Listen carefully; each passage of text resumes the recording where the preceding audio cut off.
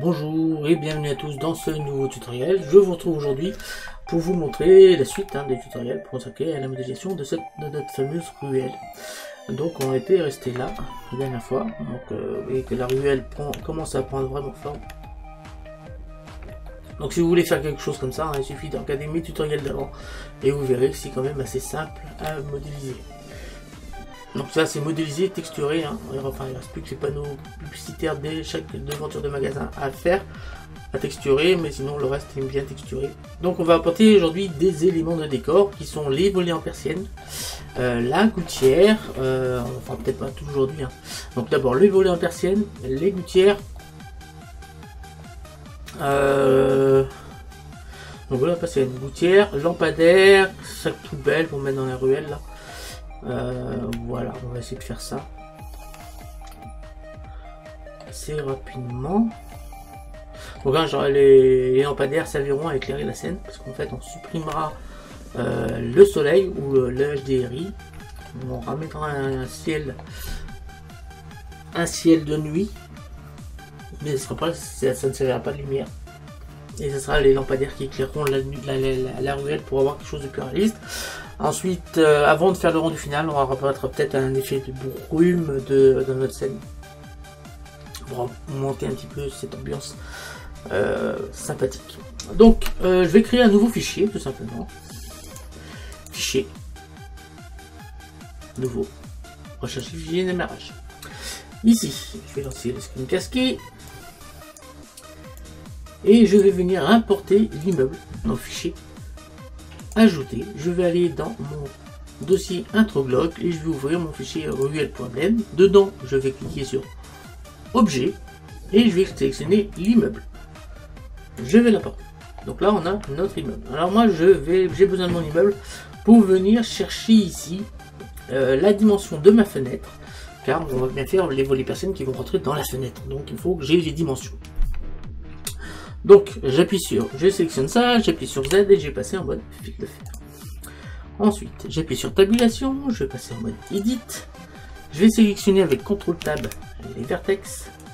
Je vais sélectionner avec, je vais sélectionner ce, coin-là, je maintiens Shift, je sélectionne celui qui est en face. Je maintiens Shift celui-là et je maintiens Shift toujours et je sélectionne celui-là. Je vais faire un Shift D pour les dupliquer je vais appuyer sur Entrée et je vais appuyer sur P et je vais, vais les isoler en cliquant sur Sélection. Donc on vient de créer un nouveau mesh euh, dans lequel on n'a que 4 points. Voilà. Qui sont les, dimensions de ma Parfait. Donc là, euh, donc c'est immeuble 1. Donc j'appuie sur tabulation, je passe en mode objet. Je vais recliquer ici pour sélectionner que l'immeuble. Et j'appuie sur X, supprime. À ce moment-là, si on est attentif, ici on a nos 4 points. J'appuie sur tabulation, je passe en mode edit. J'appuie sur A pour tout sélectionner, je vais appuyer sur F pour créer ma fenêtre qui va servir, qui va servir de fenêtre. je vais maintenant faire CTRL TAB arrête, je vais sélectionner l'arrêt du haut, maintiens Shift, je sélectionne celle du bas, j'appuie sur W et je vais cliquer sur subdiviser. J'appuie sur tabulation, je passe en mode, je laisse en mode I plutôt.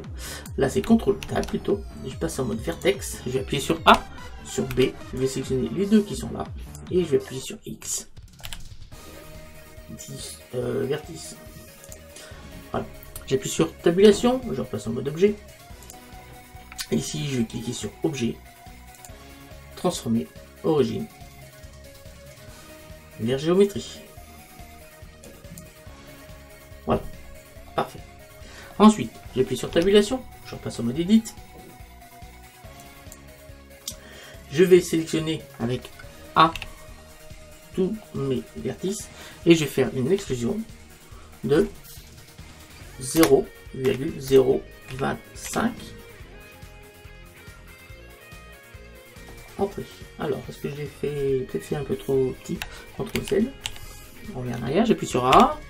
Donc on recommence. Exclusion. Donc exclusion de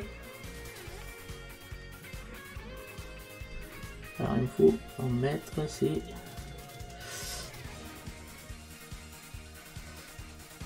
Moi je veux 2,5 cm, alors on va faire comme ça. Tac, là on va mettre 2,5 cm.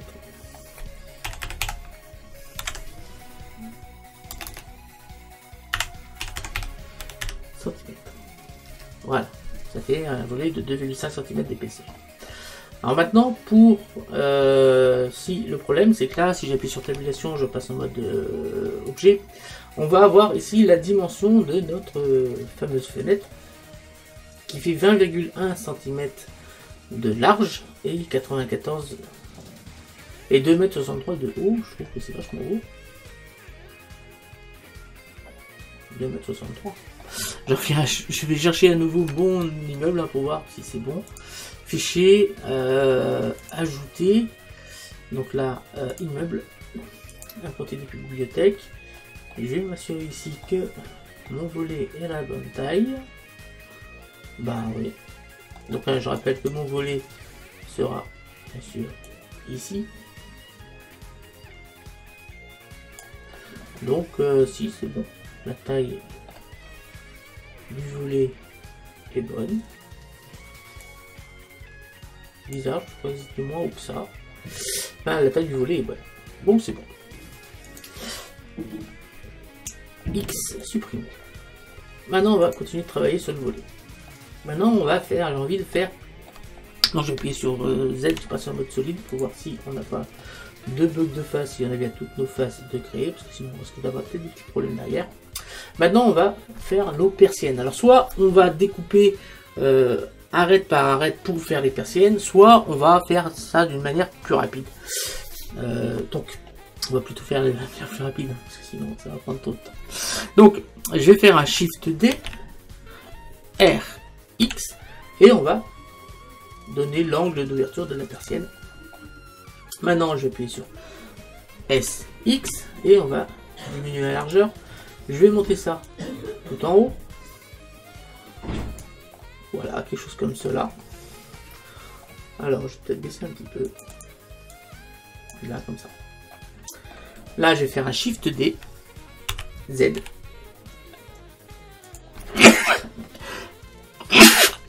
Pour faire quelque chose comme ça, pardon. Voilà, une fois que c'est fait, je vais faire Shift R pour dupliquer la dernière action. Là pense qu'en bas, ça n'a pas l'air mal. Là, ça me paraît pas mal. Je vais appuyer sur Z, je vais passer en mode fil de fer. Et je vais appuyer sur B pour venir sélectionner tout ça. Je vais faire un petit contrôle J. Comme ça, on n'a plus qu'un seul élément qui va nous servir à découper ici mon volet. Donc, je sélectionne le volet. je sélectionne d'abord l'outil de découpe. Je maintiens Shift. Je vais sélectionner le volet. Et ici, dans les outils, je vais aller chercher dans les autobooléens, je vais cliquer sur différence. Ici, on vient de créer tout simplement mon volet à persienne. Je vais passer en mode solide, donc Z solide. Et là, on a créé rapidement, en même pas 3 secondes, le fameux volet à persienne. Voilà, qu'on pourra bien sûr mettre sur notre bâtiment. Donc on n'a pas terminé, hein. on n'a pas terminé cette fameuse modélisation. Il nous reste à faire les gonds ici pour pouvoir ouvrir et fermer le volet. Et vous allez voir que grâce à ces gonds, on va pouvoir simplement, très rapidement, pouvoir ouvrir ou fermer le volet comme on veut au niveau de au niveau du bâtiment. Donc je viens ici, j'appuie sur tabulation, je vais passer en mode edit. Voilà. Je vais sélectionner maintenant euh, je vais faire un petit contrôle R. Ici. Je vais en faire 4. Voilà, je clique deux fois. Je vais sélectionner avec un contrôle tab euh, les arêtes. Je vais sélectionner celle qui est ici. Je maintiens Shift, je vais sélectionner celle qui est ici. Et on va venir les écarter donc là, je vais faire un petit S, Z, pour venir les placer à peu près ici, là où je veux le haut de mes, euh, de mes gonds. J'appuie sur, je viens sélectionner celui qui est là, je maintiens Shift. Je fais celui-là et je vais faire un SZ encore pour voir, pour voir à peu près quelque chose comme cela. Je fais ensuite CTRL TAB face. Je vais sélectionner la face qui est ici. Je maintiens Shift. Je sélectionne celle qui est ici. Et je vais faire une extrusion. Donc, hop. Voilà, comme ça. Voilà. Une fois que c'est fait, je vais faire encore une extrusion. Alors je vais mettre en vue orthographique, donc 5. Sur la vue de dessus, 7.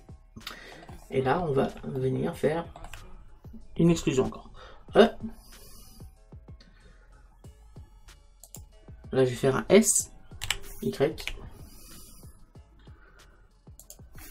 E, S, Y, E, S, Y, E, S, Y. Voilà, on obtient quelque chose comme cela. Alors, une fois que c'est fait, je vais aller chercher un cylindre, shift, euh, tabulation d'abord, tabulation, l'objet. Je vais chercher un cylindre, shift A, mèche, cylindre. On va lui le diminuer, bien sûr, S. Je vais venir le déplacer ici. Je vais le mettre sur la vue de dessus. Donc G.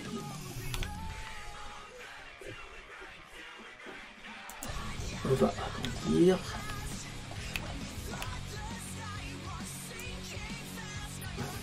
Voilà. S. Je vais mettre en mode fil de fer pour mieux voir ce que je fais. S encore. Je vais ici. Voilà, une fois que c'est fait, on va le déplacer comme cela et là je vais faire un S Z voilà quelque chose comme ça. Je vais faire un shift D. On va cliquer. Voilà comme ça on a en fait deux cylindres. Le cylindre cylindre 1 on va prendre le cylindre 1 le cylindre. Euh, le cylindre 1 pour l'instant on va le cacher. On n'a pas besoin pour l'instant. Je vais sélectionner ensuite avec Shift mon volet et je vais encore faire une différence. On vient de percer. Le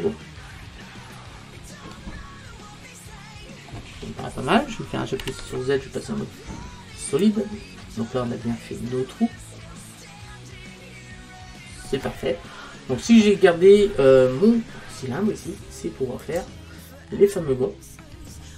Donc là on va en rafficher voilà, comme ça on a notre cylindre qui a le bon diamètre. Donc là je vais faire d'abord un S Shift Z.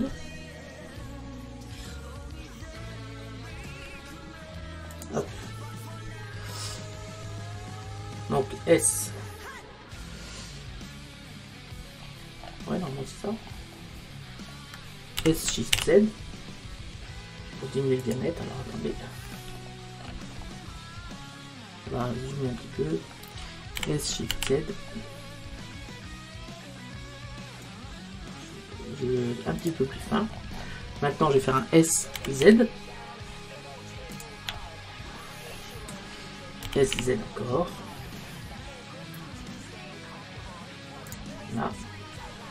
On va le monter au niveau du pont.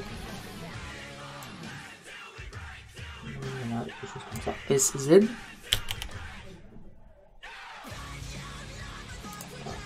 On va mettre un petit peu. Je vais appuyer sur Z pour passer en mode fil de fer et je vais passer en mode tabulation. Tabulation Ensuite, je vais prendre la face qui est ici, je vais la baisser, une extrusion et on va faire un petit S. Voilà, je vais venir sélectionner ça maintenant, extrusion S sens. Voilà, extrusion. Voilà. Ça me paraît pas mal du tout. On va peut-être si me paraît très bien. Je vais appuyer sur A pour tout sélectionner et je vais faire un Shift DZ pour mettre un autre en bas. Donc je vais mettre sur la vue 1. On a bien placé où il faut.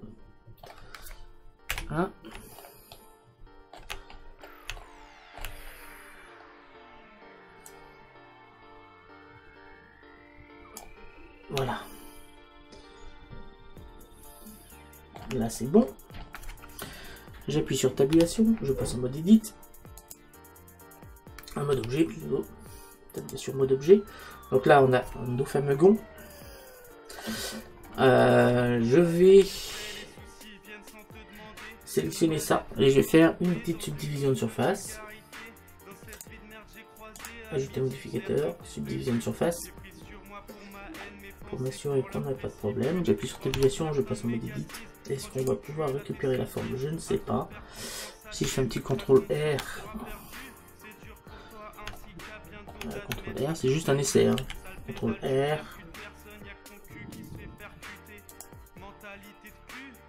Euh, non, je pourrais pas récupérer, donc on va pas faire une surface. Euh, bon, ça sera bon comme ça. Donc ce que je vais faire maintenant, je vais mettre les, les gonds je vais lui mettre en. Je vais mettre une texture. Hein. Une texture pour. Donc j'appuie sur tabulation, je passe en mode objet. Je vais mettre une texture blanche, blanchâtre. Donc là je vais chercher un. Un nouveau. Donc ça, ça va être.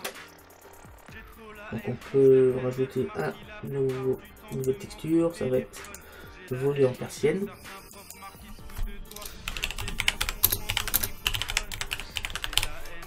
Voilà voler en persienne. C'est parfait. Donc là, on va lui mettre une texture de RBP non métallique. On va y arriver. Donc RBP non métallique. Voilà. Ça va être plus un dans les grilles, on va mettre pas trop blanc, quelque chose comme ça. Voilà. Tabulation mode edit A pour tout sélectionner et je vais cliquer sur assigner. Je vais maintenant appuyer sur tabulation, je passe en mode objet. Je vais venir sélectionner mes gonds. Et là, on va créer à nouveau une nouvelle texture qu'on va appeler gond. Voilà, on va lui les mettre en fer. Donc, je vais chercher tout simplement le fer et on va mettre un plus de Ici, 0,2, je pense que ça suffira. Je vais faire un Shift Z pour voir ce que ça donne. Donc là, on a nos fameux gonds et nos fameux volets en persienne.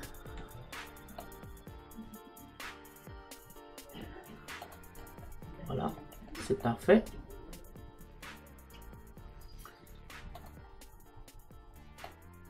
C'est parfait. Alors comment faire pour les ouvrir et les fermer? Donc j'appuie sur Z, je passe en mode solide.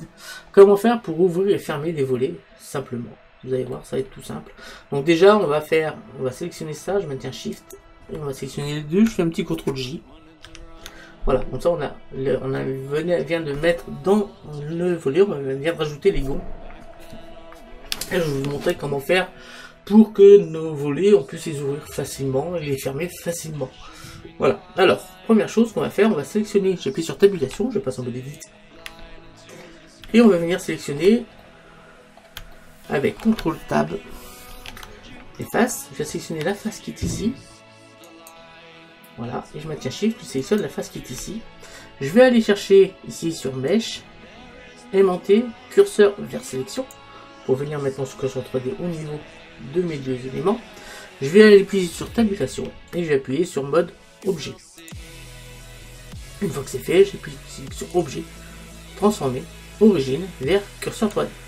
L'avantage, c'est que maintenant, si je fais une rotation, en mettant ici sur barrissante, si je fais par exemple une rotation sur l'axe Z, de toute façon ça sera forcément sur l'axe Z, R, Z, et vous voyez que j'ouvre et je ferme mon volet par rapport à l'emplacement des gonds.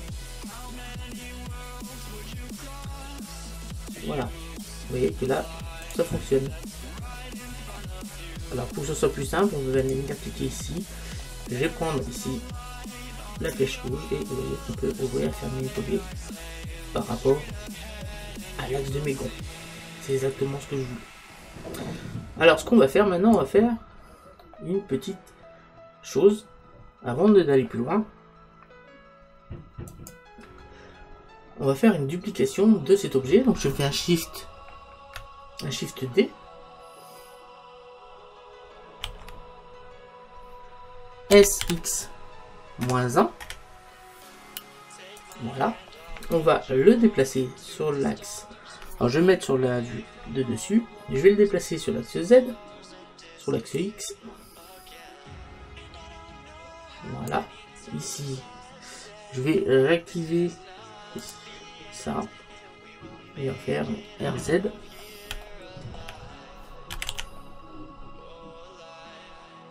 Voilà. Ici, RZ.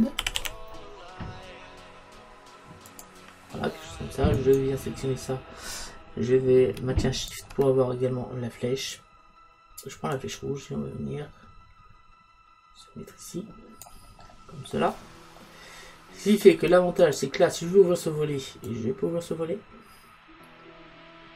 Comme je veux. Et si je sélectionne ce volet, je vais faire pareil. Tout Z. L'arc bleu là, et on va pouvoir l'ouvrir comme on veut. Si je rajoute maintenant euh, mon, mon immeuble, je vais fichier, ajouter, ajouter. Immeuble, bibliothèque, on va voir que alors je n'ai pas mis où il fallait je vais sélectionner celui-là, je maintiens shift, je sélectionne celui-là. Et on va les déplacer un petit peu.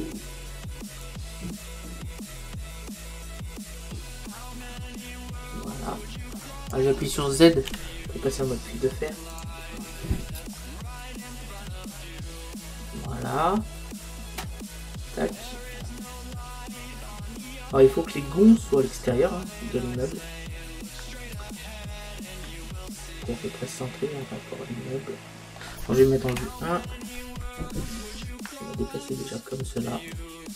Essayer de centrer un petit peu. Voilà, je vais mettre dans celui-là. Là on est bon. Je vais sélectionner un premier volet.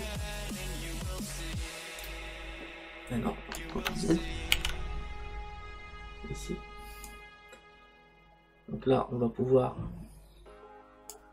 en ouvrir un comme ça. Je viens sélectionner le deuxième. Je prends l'arc bleu.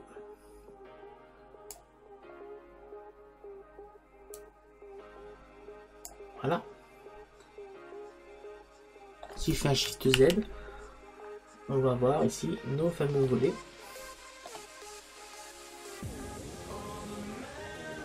Qui sont bien où il faut.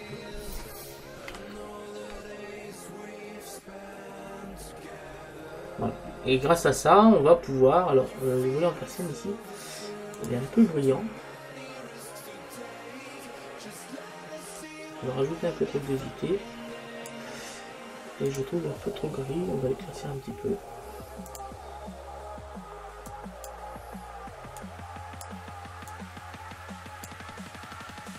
Voilà, chose comme ça là. Ça sera beaucoup mieux. On est encore un peu trop. Voilà. Et voilà, on a fait des volets. Donc après, il suffit de prendre ces fameux volets, de les mettre sur la tâche du dessus. Quand j'appuie sur Z, je vais me passer en mode solide. J'ai sélectionné avec Shift, je sélectionne les. Je fais un Shift D Z et on va venir, il suffit de la placer dessus. Voilà.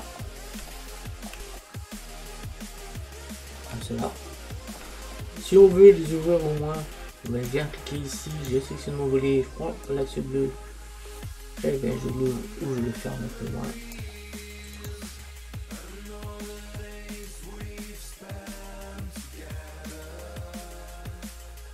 On est quelque chose de qui paraissera vite. Je sélectionne mes deux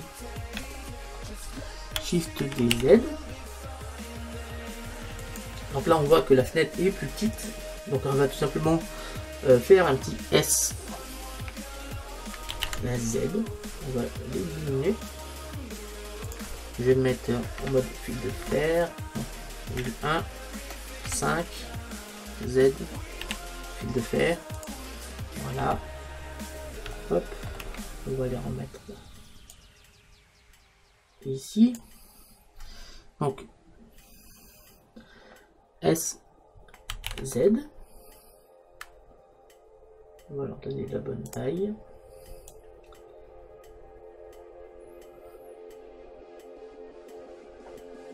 Voilà. Donc là, comme tout à l'heure, hein, on prend. On peut lui faire un Z.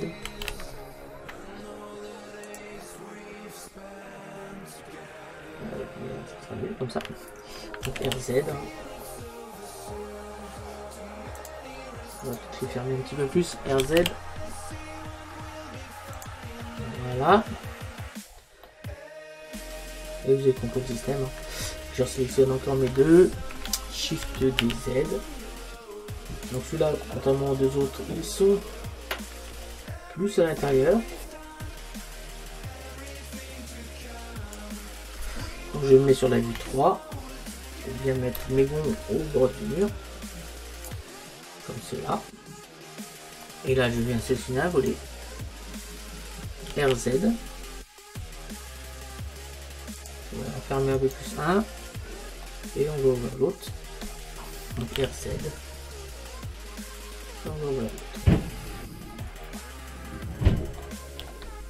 Vous voyez, d'une manière assez simple, on vient de faire tranquillement les volets, tous les volets. On les a tous placés. Euh, en hauteur, je vais me mettre sur la vue 1 pour voir si en haut on est bon. Sur la hauteur. Donc j'additionne encore mes deux volets. Donc on est mal placé ici. Voilà, ils sont un peu trop grands, donc je fais un petit SZ. Voilà, on va les descendre un petit peu. Voilà.